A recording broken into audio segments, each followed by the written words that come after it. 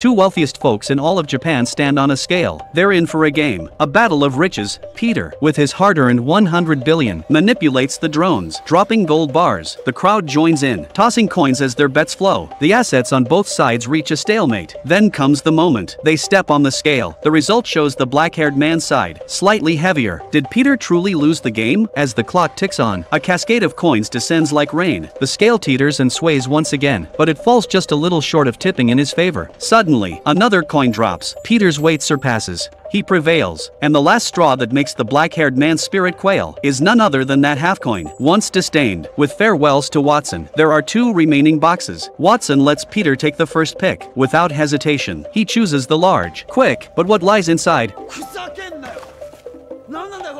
Peter finds himself back at the starting point of a penniless life.